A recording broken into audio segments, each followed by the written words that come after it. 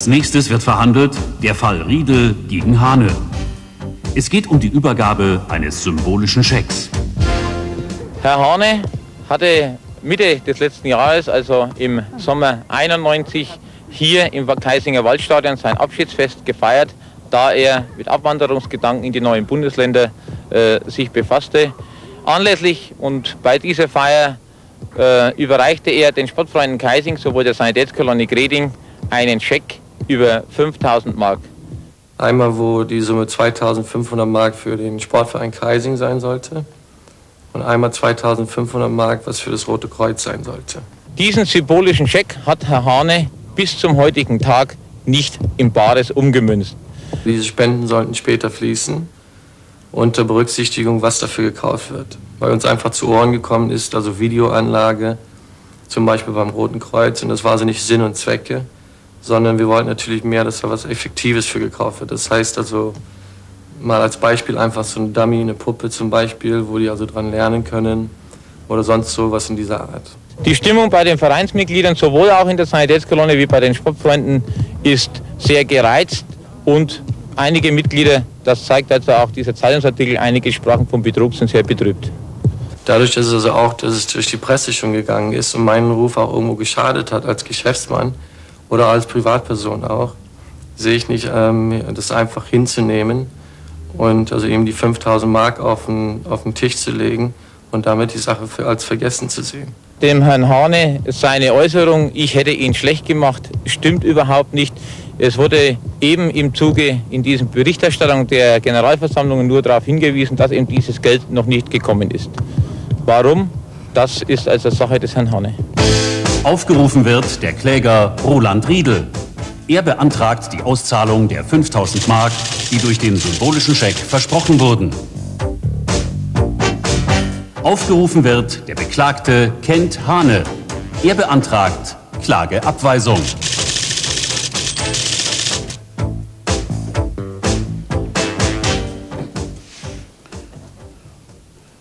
Dann eröffne ich die Verhandlung des Schiedsgerichts und rufe auf die Sache Riedel gegen Hane. Ich nehme an, Sie sind der Herr Riedel.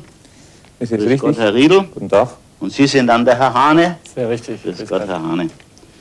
Ja, äh, Herr Riedel, wenn Sie mal kurz schildern, was Sie vom Beklagten verlangen wollen und warum Sie glauben, dass Sie diese Forderung haben. Können ja. Sie mal im Zusammenhang kurz schildern? Ich habe also die Forderung an Herrn Hane in äh, als Vertreter von zwei Organisationen. Zum ersten der Sportfreunde Kaising als Vorsitzender und von der Sanitätskolonie Greding eben als Kolonnenführer. Herr Hane besaß also in Greding ein Restaurant, war auch Sponsor und Gönner beider Institutionen.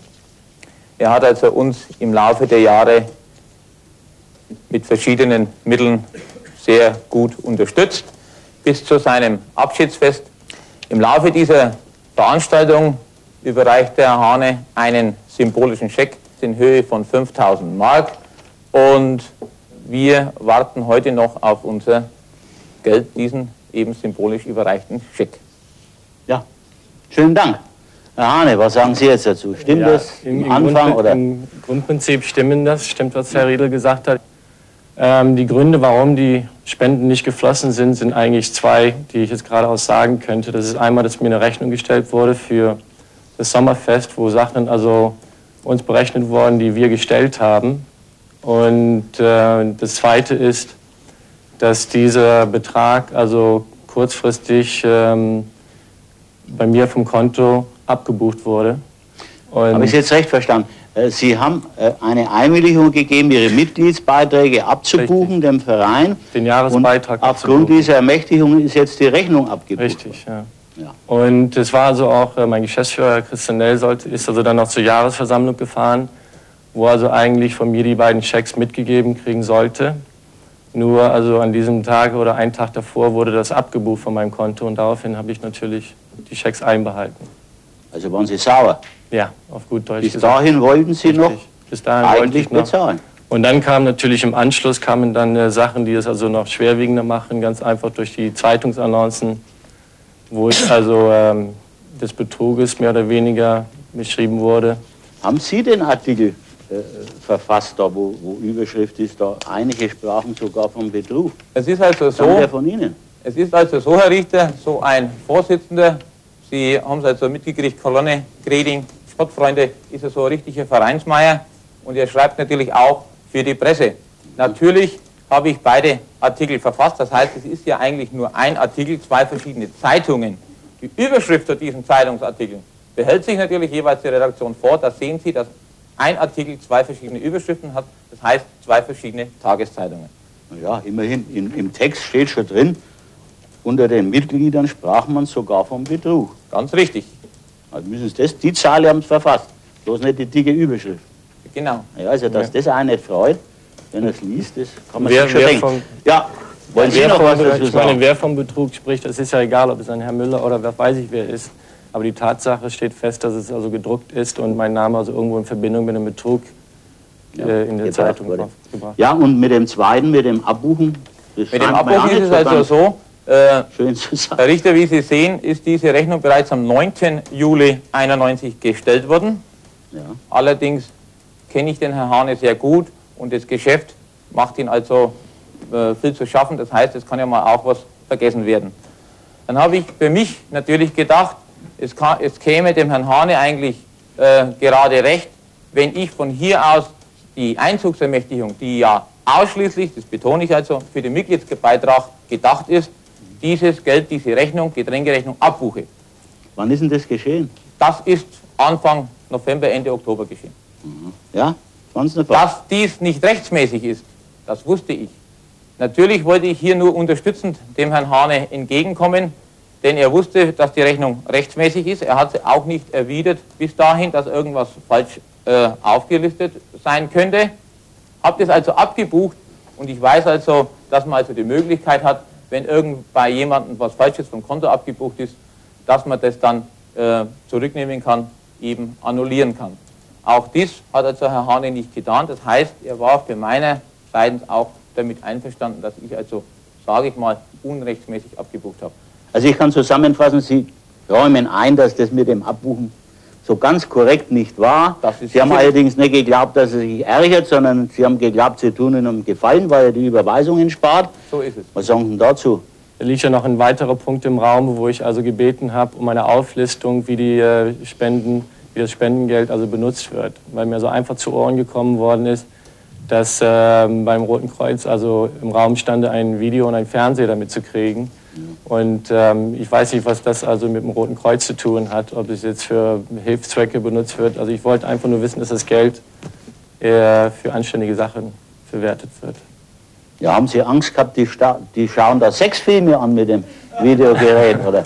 Die Das ist haben was doch Sie- das gewollt, Herr Hane. Was Sie, Ein Rotes Kreuz wird doch, das macht doch Ausbildung in erster Hilfe. Und da kann man ein Videogerät und einen Fernseher Es kommt schon an, wo das Videogerät in der Fernseher steht. Also dieses Rote Kreuz hat also auch einen 24-Stunden-Dienst und äh, während der Nacht wird es also etwas Ja, um die langweilig. zu unterhalten, ist das vernünftig. Damit Ja gut, aber es hätte ja eine Auflistung kommen können. Ja, die ist Es doch schön ja, geworden. ja, die Auflistung ist jetzt vor circa drei Wochen gekommen. Na Nachdem Ja, aber jetzt haben sie es gekriegt. Ja gut, aber da stand es schon im Streitfall. Ja, und, ja, ja. Beim Roten Kreuz muss ich dazu sagen, äh, hat der Hane nicht ganz recht. Eben Ausbildungszwecke. Es geht also hier nicht um Spielfilme oder sonst was. Als Ausbilder des Roten Kreuzes muss ich sagen, die Rettungswache, was er also anspricht, ist ausgerüstet mit einer Videoanlage und auch einem sehr schönen Fernseher. Diese Videoanlage und Fernsehapparat hätte also rein ausschließlich für Ausbildungszwecke verwendet werden können oder sollen.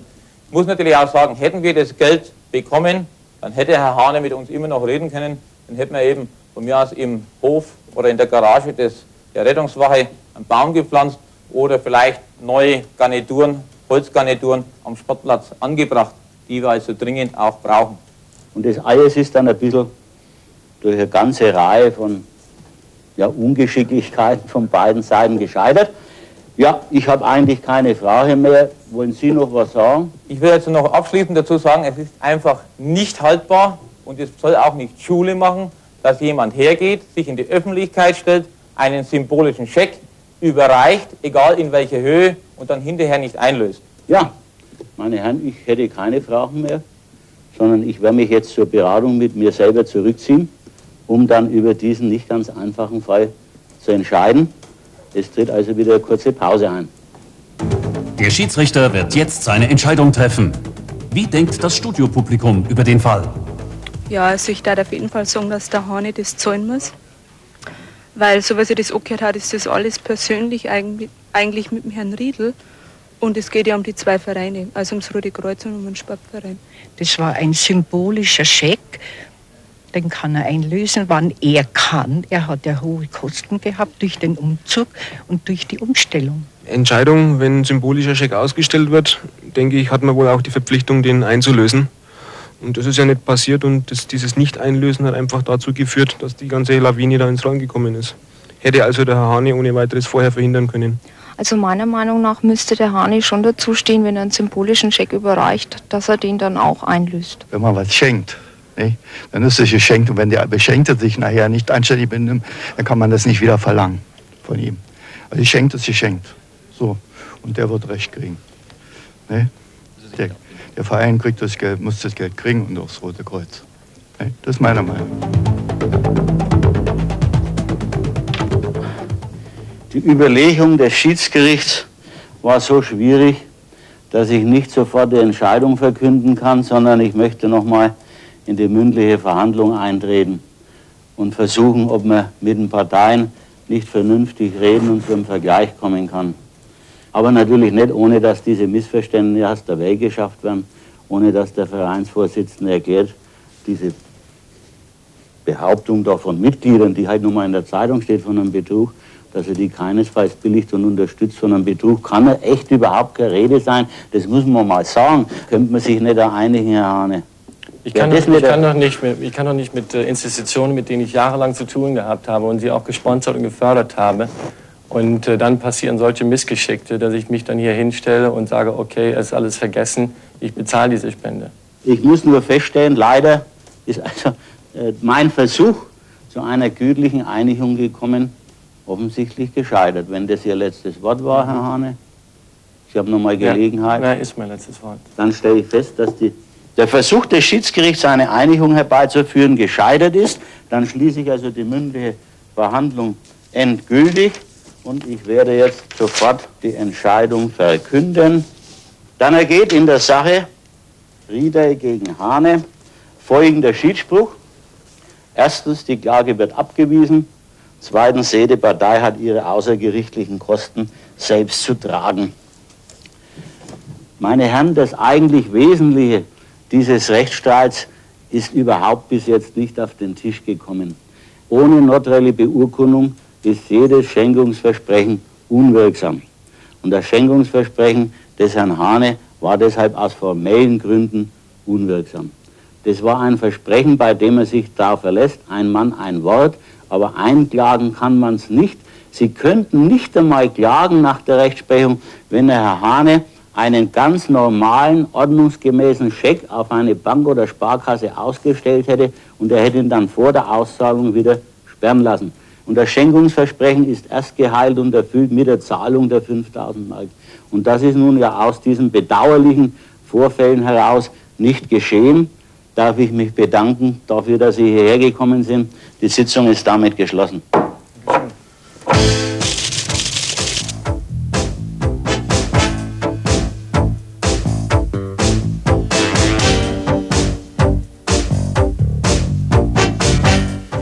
Wenn dieses Urteil Schule macht mit solchen Scheckübergaben, dann äh, bedauere ich das sehr.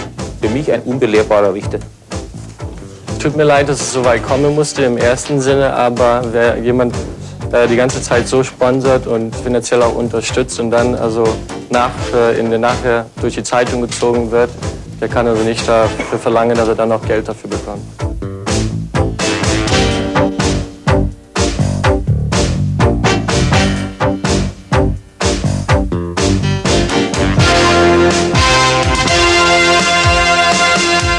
Wenn Sie Ihren Zivilrechtsstreit vor dem Fernsehschiedsgericht entscheiden lassen wollen, dann schildern Sie uns Ihren Fall und schreiben Sie an Recht so, Postfach 8000 München 45.